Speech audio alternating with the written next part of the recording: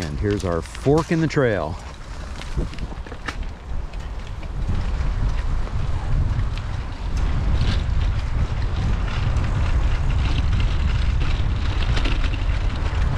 We're gonna make a right and a right and go up on a sidewalk. It's Okay. Nobody ever uses it. sidewalk. All right.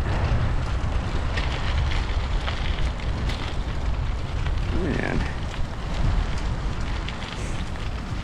and you can see some pretty modern structures in the distance here.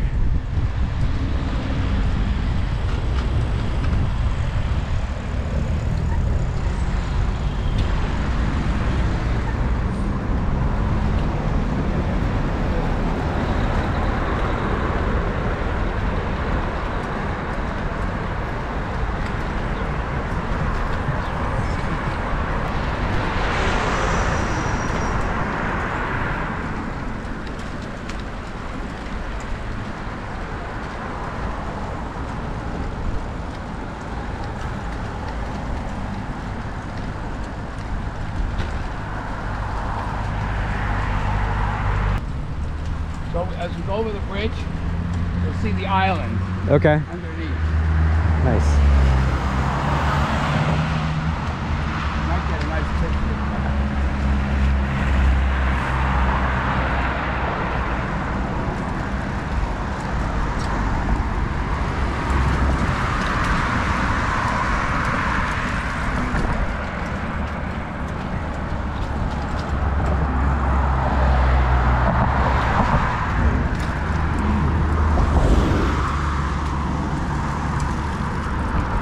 And there's the Seine.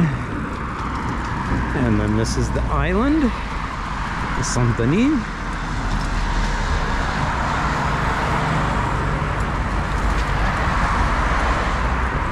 And there's a big ugly road.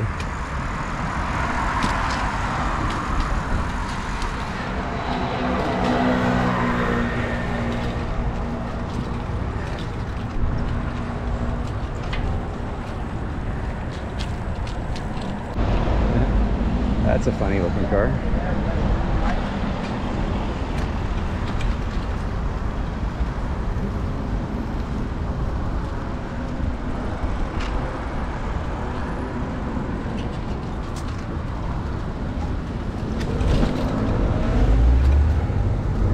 All right. Now we're on the other side of the bridge.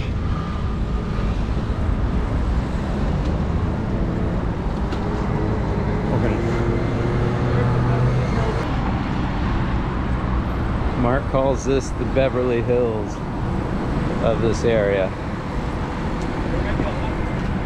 And we're gonna make a left down to the pathway, drop down there.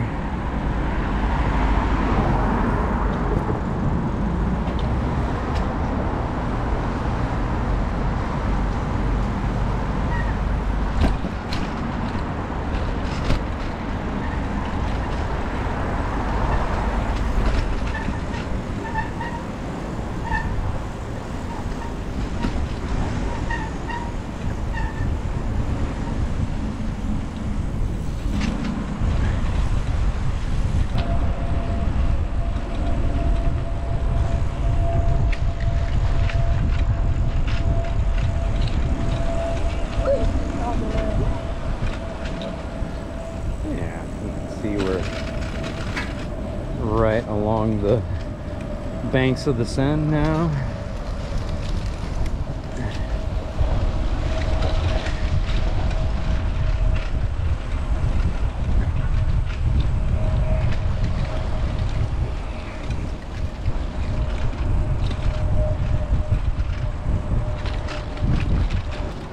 I'm a specialist finding tree canopies. Yes. And uh, there's a there's a pretty one over here that uh, that no one would find because I think your GPS would say that it's that you can't get through here. So Right. And explain why you are an aficionado of tree canopies. uh, I'm sensitive to the sun. I'm a little sensitive to the sun. I wear sunblock, and uh, of course now at the, with today's weather, you'd prefer to be in the sun. And in a canopy, but just to show you. Of Yes. course, in Paris, because the buildings are right at the at the level of the sidewalk, they actually act as uh, as shade. Right. So you can cycle to Paris, cycle to work in the morning, cycle back in, in the afternoon, and you'll always find a place to be in the shade Right. Yeah. because they don't have parking lots up on the sidewalk. Right. So that's a huge asset for me. Yeah.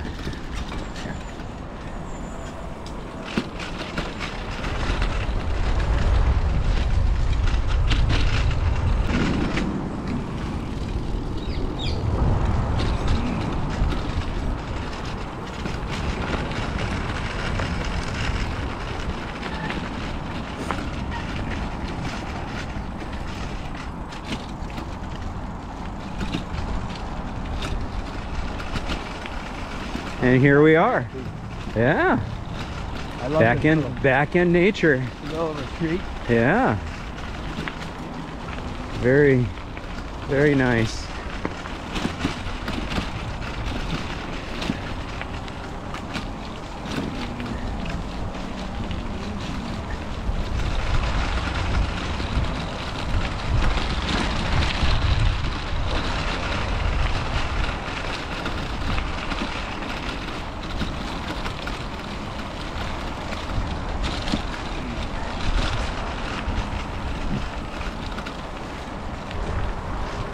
Now on a summer day is there uh, a lot of people down here? Uh, on this side, no. Okay. On the other side of the bridge, the one that goes to to uh, the Canal Saint Denis, Uh-huh. there you, you always have a lot of people. Okay. So this is always quite pleasant and tranquil. Very nice.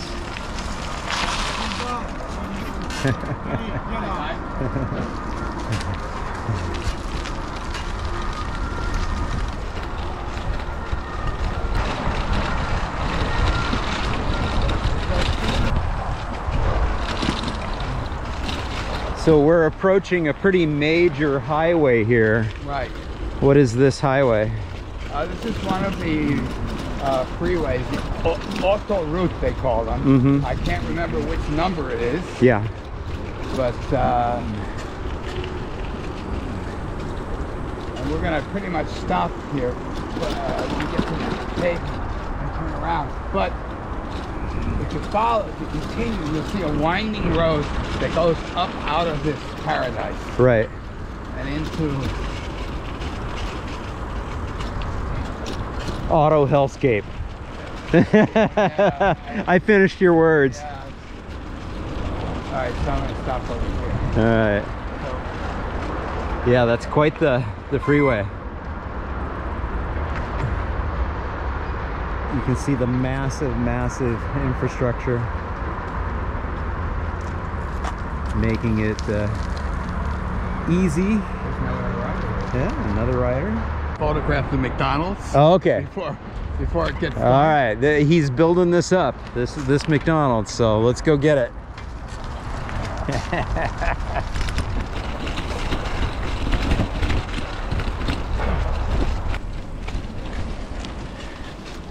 so Mark, you just said something that I want to get on camera here, and that Okay. is, uh, you know, that a lot of these hidden gems are just out there. Yeah, and I, I I would imagine that would be true in most parts of the world and, Yeah. and in the United States as well. That you have these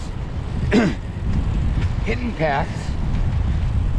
Some of them don't seem to go where a lot of people want to go, so you don't get a lot of traffic on those paths. I mean, foot, even foot or bike traffic, no less cars, and uh, all of the northern suburbs are full of places like this. So this is just typical, and sometimes some of the people can live in the neighborhood and never go down these paths.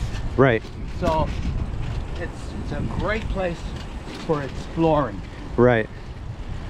And I guess the lesson here is that, you know, going out in your neighborhood, exploring, looking for these hidden gems is, Right. is a big part of, uh, I think it's a big part of your book, right? And yeah, and my argument also, because the book is uh, about Thoreau. If he were, if he had a bicycle, he'd also take challenges. Being one of civil disobedience, which he practically coined the term, he'd probably, he'd probably go out there on the stroad and challenge and say, "This is my territory. Can't take it from me." Right. Yeah. The declaration that streets are for people. Yeah. There you go.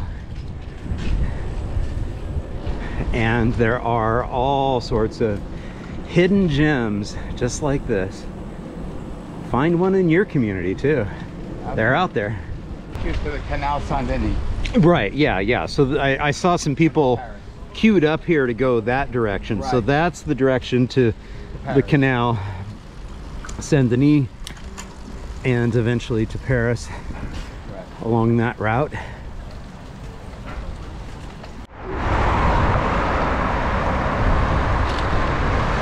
Counter there.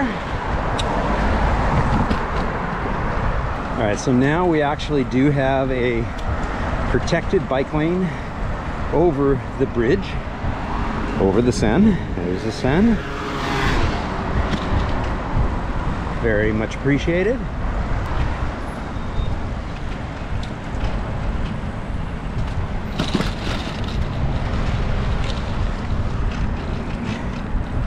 We lose our our uh, bike path and I think we're taking the sidewalk. No, we're not.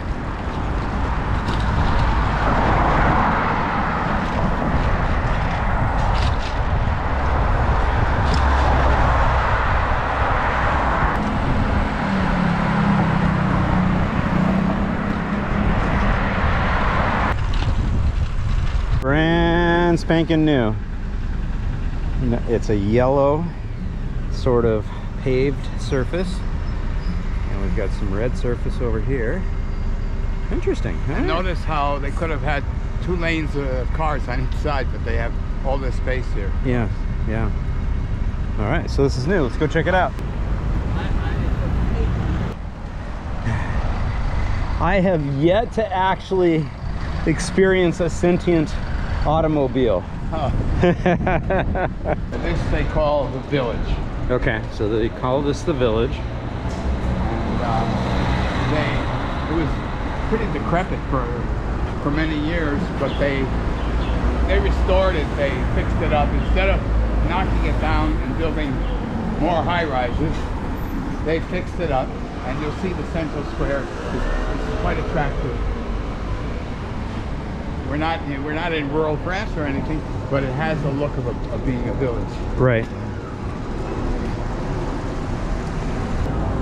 So I see the the street tracks, the the, the streetcar line tracks. Have was, was that in originally? Uh, the, the tramway uh, is relatively new. Uh, Okay. Now, my sense of, of years, when you get to be my age, each year is 170th of your life. Right. When you're 20 years old, each year is 120th of your life. So the years go by so quick that it, I can't quite remember Right. when they put in the tramway, Right. but it, it's relatively recent. Okay. and the tramways basically the Grand Paris they realized that Paris depends on the suburbs the suburbs depend on Paris and so they got to get their stuff together and, and not just make Paris a gentrified uh, zone and leave everybody else abandoned Right. so uh, they're basically recovering a lot of uh, facilities for suburbs, and that the tramways have made a huge difference. Right.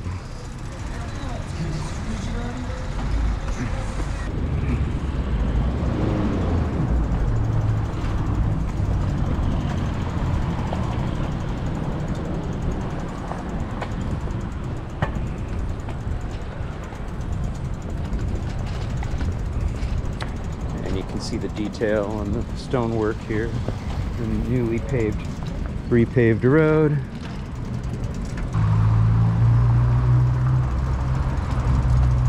also the village square, and uh, you know they made it made it into a livable livable place. Yeah. And it extends for a few blocks in each direction.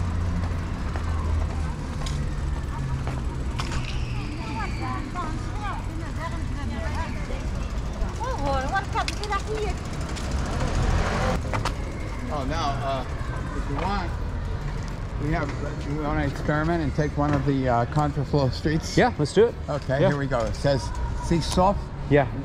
no entry except bicycle. Let's see if it works. bikes. Yeah. Let's see if See it if we, works. if we survive. All right. All right, we're rolling the dice here. Mark seems relatively confident. Hey, thank you all so much for tuning in. Uh, hope you enjoyed it. And if you did, please be sure to give it a thumbs up, leave a comment down below, and share it with a friend. And tune in next time to see what happens when we roll down this Contraflow Street. Thank you all so much.